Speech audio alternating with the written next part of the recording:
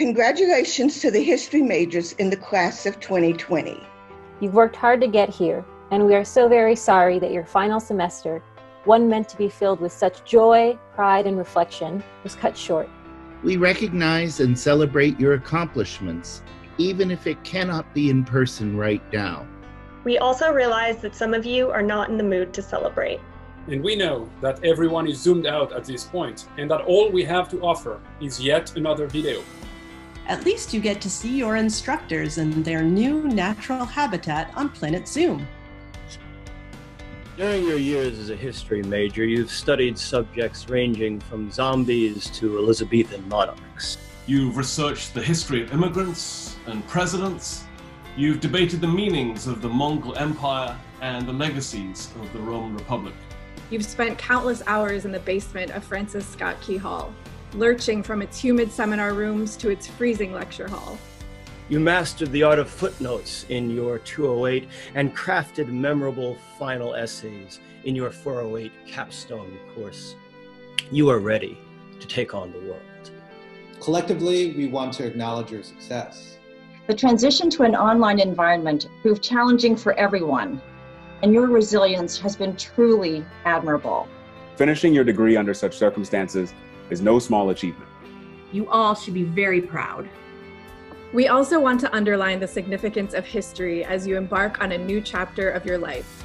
In an age of fake news and alternative facts, the skills you developed as history majors to think critically and engage with primary sources and modern scholarship alike will serve you well. Not only in the workplace, but in life in general and as informed citizens in particular.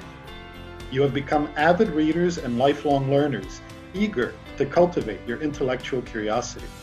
And you will continue to cultivate the values of the humanities to imagine the world of tomorrow and create a more fair society.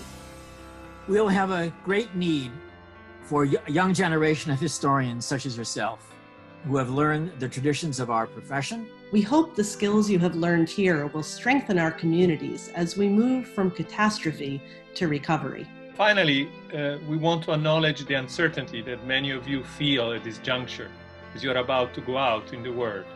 Some of you have jobs, graduate school plans, or service projects in place. Congratulations. Others of you may still be searching. It's okay to not know what to do next, to not have a career lined up, to be living at home for a while, to debate whether to go to graduate school, to try a job in a new field, to take some time off to recover, or to question all of the plans you've made until recently.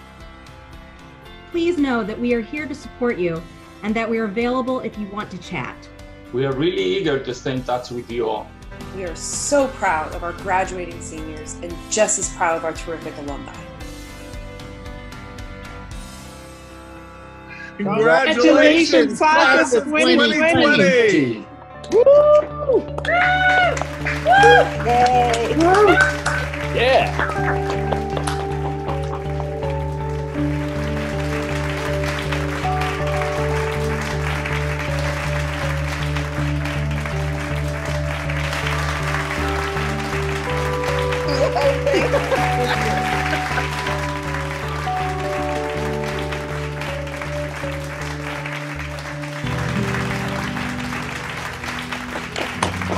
All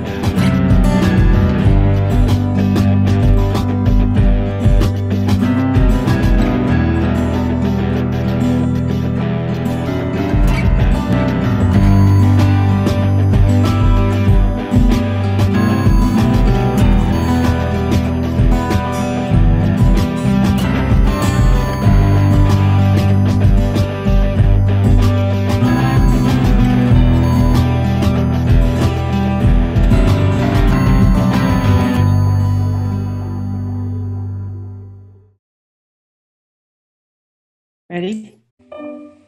Yeah, ready. Sorry. I was muted. Sorry. For the making of. Great start. We'll try that again. And I thought Elsa was supposed to read the first paragraph as well. Uh, do you want Claire to go? I think actually Patrick's next. We're about to start a business, guys. Are you going to count us down? I think my internet's frozen. We're almost there, people.